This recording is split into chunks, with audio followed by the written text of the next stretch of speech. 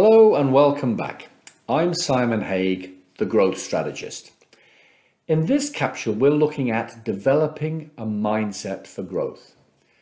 We start by looking at your mind, how it operates, and how it impacts your emotions, behaviors, and physical symptoms.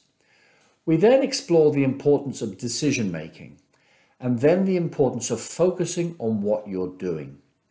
We then move on to exploring how gritty you are and the importance of balancing mindset with mindfulness.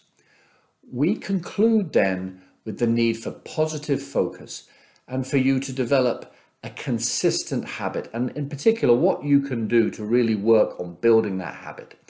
So we look forward to working with you on this module, developing a mindset for growth. Thank you.